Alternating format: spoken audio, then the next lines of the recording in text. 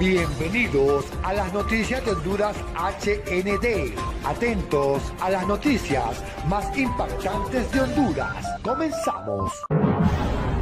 A pesar de todas las pruebas que tienen en contra de este personaje, que un día fue un supuesto hombre leal al país hondureño, hoy han cambiado los papeles ya no cuenta con esa honorable figura, la cual hizo creer a todos que era. La Fiscalía de Estados Unidos tiene documentos y pruebas certificadas contra toda esta mafia que este sujeto incrementó en el país hondureño.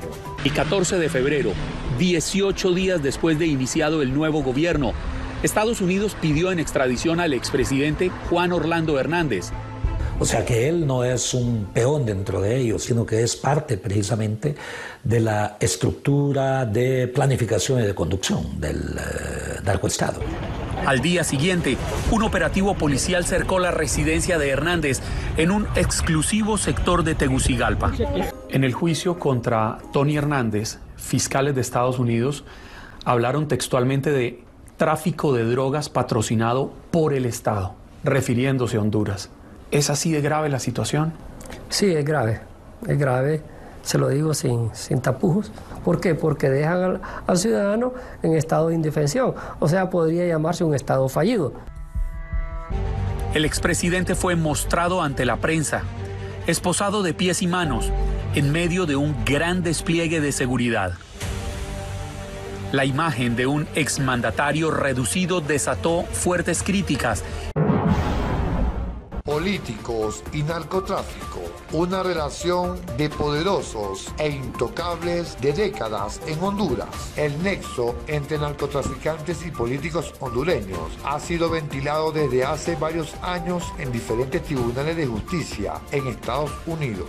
Alcaldes, diputados e incluso expresidentes han sido mencionados en las Cortes de Estados Unidos por sus nexos con la narcoactividad. En Honduras, un país donde los escándalos por narcotráfico han llegado hasta el nivel más alto, muchas cosas han cambiado con el nuevo gobierno. Basta con conocer la historia detrás de la llegada de un general retirado como nuevo ministro de Seguridad, sobre cómo el destino invirtió los papeles de dos hombres poderosos. Cuando en diciembre de 2013 el general Ramón Savillón llegó a liderar la Policía Nacional de Honduras, tenía muchos retos. Sabía que habían conflictos eh, en el orden de, de la investigación, en la prevención de la violencia que había que resolver. En San Pedro Sula y en Tegucigalpa se vivía una guerra por el dominio. El caso más escandaloso ha sido el, el, del exmandatario hondureño Juan Orlando Hernández, quien fue capturado en febrero de 2022 y posteriormente extraditado para enfrentar la justicia norteamericana. El ministro de Seguridad, Ramón Savillón, escoltó al expresidente Juan Orlando Hernández el día de su extradición. Estados Unidos, antes, cuando Hernández ejercía el poder, tenía el control de las fuerzas de seguridad del Estado, incluso para actividades criminales, según la Fiscalía del Distrito Sur de Nueva York. Sí podría ser capturado este día. Irónicamente, fue Ramón Savillón, esta vez sin uniforme, quien capturó al mismo hombre que años atrás lo destituyó cuando era jefe de la policía. Pocos días después de que el propio presidente Hernández lo destituyera, Savillón comenzó a ser intimidado. Entonces se van detectando las amenazas, se van elevando gradualmente y al final eh, hay que tomar decisiones. Retiro de seguridad, entonces el nivel de, de certeza que, que va a ocurrir un evento contra su integridad, contra mi integridad, eran mucho mayores. No tuvo que pensarlo mucho y rápidamente se exilió en Estados Unidos. Parecía ser el fin de su carrera. Había que adaptarse al cambio, al clima, a normas sociales, a y pero eh, en una forma Dios le da algunas salidas a uno. En el exilio, se enteró de la captura y posterior juicio en Nueva York contra el hermano del presidente Juan Orlando Hernández. El hombre más poderoso de Honduras se está comiendo las uñas, ya que sabe que saldrán nuevas acusaciones en el próximo juicio, al saber que otros vínculos podrían estar en su contra, sin remedio alguno para la que vive Juan Orlando Hernández y que también la defensa ya no tiene las mismas fuerzas. Solo le queda asumir lo que el mundo entero ya sabe, su culpabilidad de todos los cargos y las pruebas de otros cargos que serán expuestos en su juicio. Ahora veremos qué declara el patrón de Honduras pruebas que supuestamente vinculan al exmandatario con el narcotráfico. Sobre Hernández pesan tres cargos, uno por conspirar para exportar cocaína a Estados Unidos y otros dos por uso y conspiración para el uso de armas de fuego. Quiero que el pueblo hondureño entienda que nosotros estamos sumamente preparados para no solamente esa audiencia, este caso, y podemos comprobar y vamos a comprobar la inocencia total. Cuando al término de su cargo fue extraditado en abril pasado, luego de tener muchos años en el poder, una gran torre de operaciones criminales y de engaños para el pueblo hondureño se ha ido derrumbando. La enorme torre, llena de basura y mentiras que burlaban al país dándole privilegios a narcotraficantes y exponentes mafiosos que compraron la dignidad de Honduras tras la figura potente llamada Juan Orlando Hernández. El Hernández Alvarado ha estado constituido básicamente por cuatro miembros de esta familia con Juan Orlando Hernández a la cabeza, operando desde la presidencia de Honduras.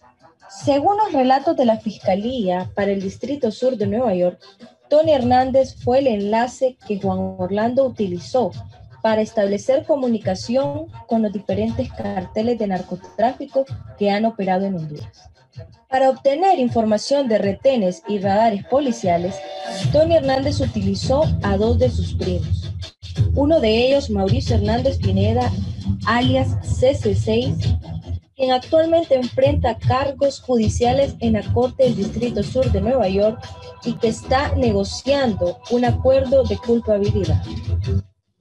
Otro de sus primos mencionados durante el juicio de Tony Hernández es Hernán Hernández, quien según los relatos de la Fiscalía brindaba información a Tony para que éste la traspasara a sus socios para proteger las cargas de cocaína que se movilizarían en territorio hondureño.